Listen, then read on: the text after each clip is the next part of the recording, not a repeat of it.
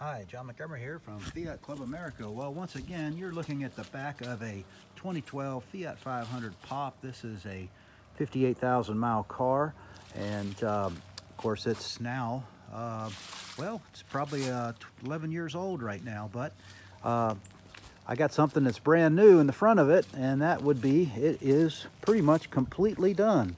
And as you can see, we are a long, long, long way from where it was um, just a few months ago when it was hit by a F-150 pickup truck. A very hard hit in the front corner and uh, this car has been repaired so now it's drivable down the road. I still got some final adjustments to do with the panels but basically it's ready to go painted and um, and everything's good. It's got the new fender on there, the new hood and new headlights. It's got new uh, you know, crash bar and all that. We'll get into that in a minute, but just to do a quick walk around of the car. So you can see I've replaced the aerial, believe it or not, right there. It's got a donor aerial on it. I use a lot of donor parts to get this car fixed, you know, with a very, very good budget.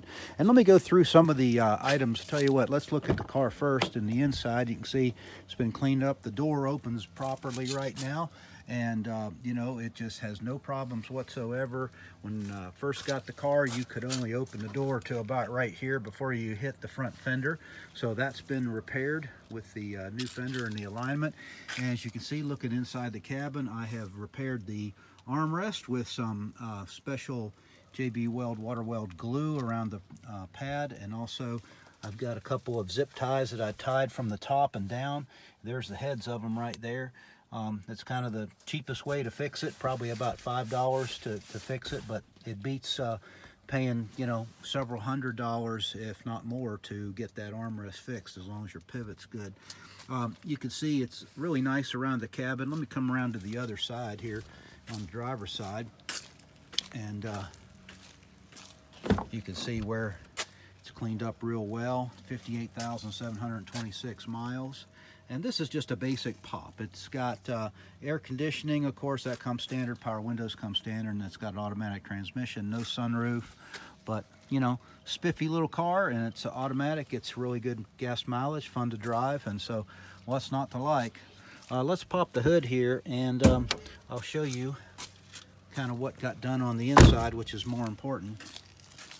Go ahead and pop the hood. You can see really, really nice paint work appreciate my friend Alex Santiago who helped me with that. And uh, maybe I'll be a painter one day. Uh, probably not. This is a donor hood right here. I was able to find one of these hoods for a very, very good price off a parts car. And I cleaned up this inner tray, took this tray completely out, um, cleaned up all underneath. There was some leaves, debris, dirt, whatever. Cleared all the drain holes and uh, also uh, found some donor pieces here and uh, glued these in because they were broken. But um, anyway, it now it looks like it's a you know correct and you know uh, everything's good there. You can see I've replaced the radiator support and also the front bumper nose, of course, as you know, and uh, everything's cleaned up around the, the cabin here. I like a clean engine, and I just changed the, uh, the coolant. So, you know, it's all done on that side. There's your automatic transmission. You can see that little pivot point. That's the focus of the recall right there on your uh, automatic transmission car. So you can go to uh, Fiat Club, I'm sorry, you can go to uh, uh, Mopar.com and check to see if your car falls under that recall. They'll do it for free. That pivot comes off and that's what causes it not to be able to shift into gear. But you can see this car uh, was hit very, very hard in the front here by a pickup truck and this is sort of the crash damage. I went ahead and uh, saved everything for the moment just so you can see what happened. So let's start from the beginning here. You can see um, where the hood was traumatized up on the top and it was also not only um, bent but also uh, kind of knocked out of position. You can see the front bumper cover completely destroyed um, and uh, look at the uh, radiator support behind it. Uh, you can see how badly that was deflected over and the crash bar actually sits in front of that. You can see how badly that was um, mangled there and that took a lot of the energy and it caused a little shifting in the um, frame rails and so you can see this is a sample of a cut off frame rail and it was bent over about 25 degrees and I was able to get it straightened out as you saw in a previous video. So this is just made out of some sheet metal and so it's not too hard. If you warm it up, you can, uh, with a long enough pole and a little leverage, you can, you know, at least in my case, I was able to generally get it straight, straight enough so everything would go back together. There's the um, lower support right there. You can see where my arrows are, where the deflection is. So that's another, um, you know, uh, place where it took a lot of energy. And then this, this little uh, support post right here actually got sheared off. So there's the, uh, you know, the, the, hood hinges. You can see they got bent a little bit, so they had to be replaced. Uh, this air intake hose that goes into the air cleaner assembly was bent over so badly that it wouldn't even allow air to get in. And um, the hood latch, I went ahead and replaced it. You can see the um, the headlights. Uh, they were um, they were actually, you know, they still work. Unfortunately, the tabs are broken off. This is the adjustment tab that goes down into here. This tab is, you change this, you move that little little nut there to um, get your uh, headlight adjustment, you know, side to side. And then of course you have the one up here that gives you your up and down adjustment with a um, I think it's a six millimeter hex key is what that uses. So anyway, check out the radiator. This thing was still holding coolant, believe it or not. Look at the trauma this thing took and how it's completely deflected. But, um, you know, I uh, replaced that, but I did not replace the air conditioning condenser. That actually was still holding Freon, so I went ahead and just continued to use it as I showed you in a previous video. You can see right here, this is how the um, lower radiator hose ties into the um, the base of the radiator. It's just like a little spring clip assembly. And uh, you know, the only thing that was wrong with this thing was this um, this metal pipe that feeds right here got a little bit oblong bent from the crash, and that's why it was leaking a little bit. So I replaced this whole assembly. It's about 46 bucks. You can buy it at a dealer. That line runs up to the uh, coolant reservoir bottle. And um, so you can see here, I've you know, replaced this lower, uh, you know, this lower beam right here. It's got two, um, two bolts that tie it in and four bolts that tie it into here. This kind of fits right here. Uh, the, although, you know, let's see, I may have it upside down. There we go. I think that's how it goes in. Yep. And uh, so I had to replace that because the other one got sheared off. Uh, replace these top rails right here, these supports, and then there's your um, you know, your hood support right here, and you can see that's where your prop rod um, is right there. So this is the bottom of the, the, hood assembly. This thing just got, you know, kind of bent a little bit, so I just went ahead and got, um, you know, replacement brackets from a donor car. This is the coolant I use, and this this is um, usually what most Fiats will take. There's the part number on the lower left. This is the concentrate.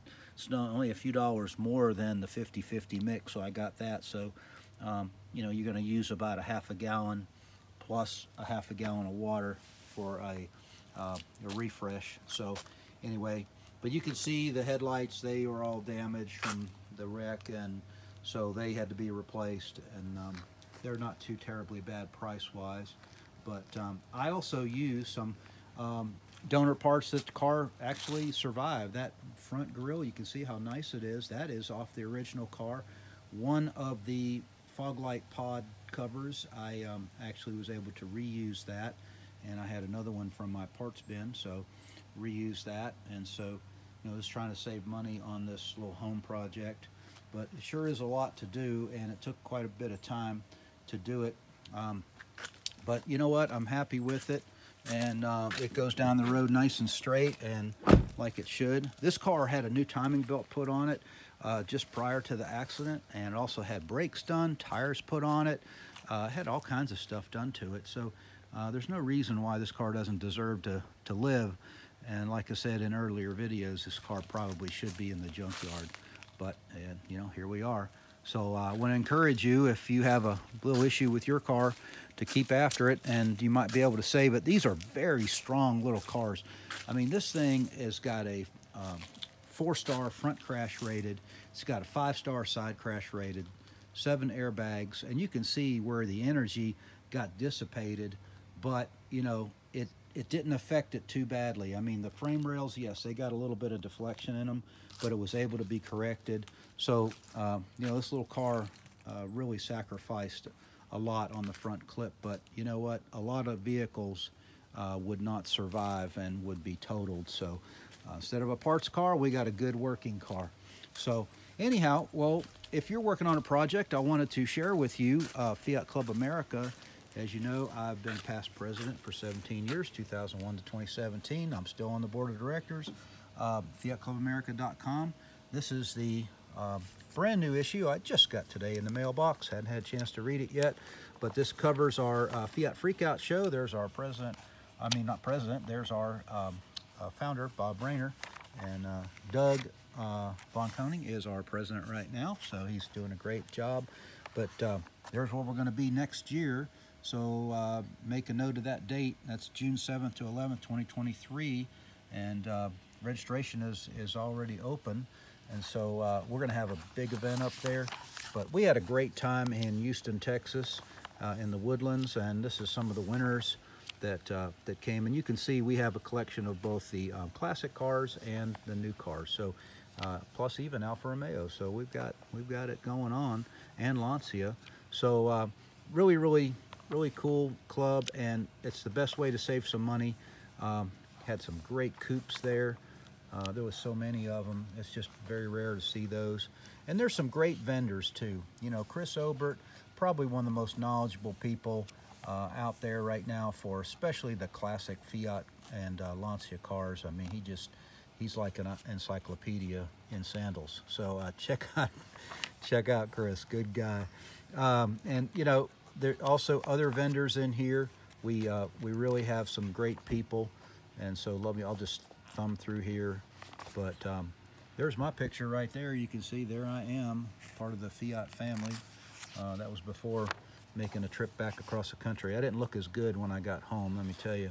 But um, We've got some other great vendors, Midwest Bayless, MidwestBayless.com. That's Art and Susan's company that they sold. They've been in business for 50 years and um, now run by uh, Matt and Marnie Brannon and uh, Braden and uh, Bannon, some great people that work there. Um, there's Fun Imported and Toys. That's Danny O'Donnell. And uh, there is Fiat 500 USA, a great, great resource. Chris Vitale runs it.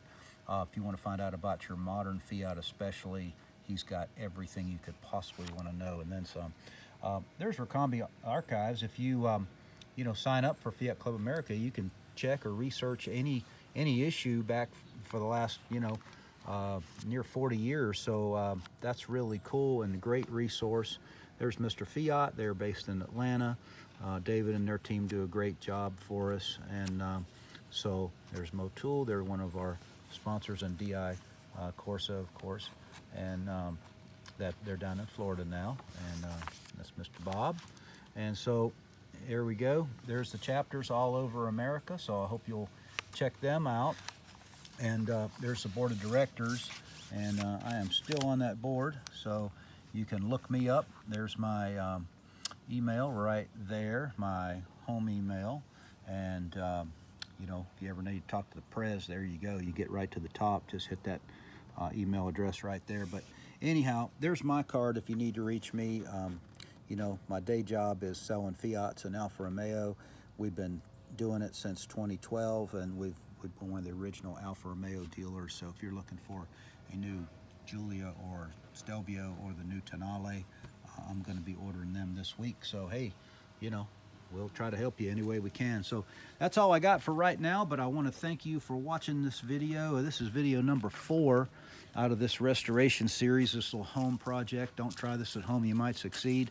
I think we, uh, we've got some, you know, success here. And so I want to thank you for uh, tagging along with me. And, you know, it's uh, it was a big project, but I mean, I'm, uh, I'm pleased with it so far. I'll get my final adjustments done and, um, you know, we'll go from there. So whatever you're working on, I hope you'll check out Fiat Club America and please email me, John at Benson Fiat, if you have a question uh, or anything you'd like to talk about, and uh, we'll go from there. So anyhow, I hope you have a great week, and, uh, you know, we'll see you next time. There's my 2012 pop right there, and I've got a classic Spider ride behind it, so, you know, I've got plenty of cars, and they're great fun, so I encourage you to pick one up if you get a chance.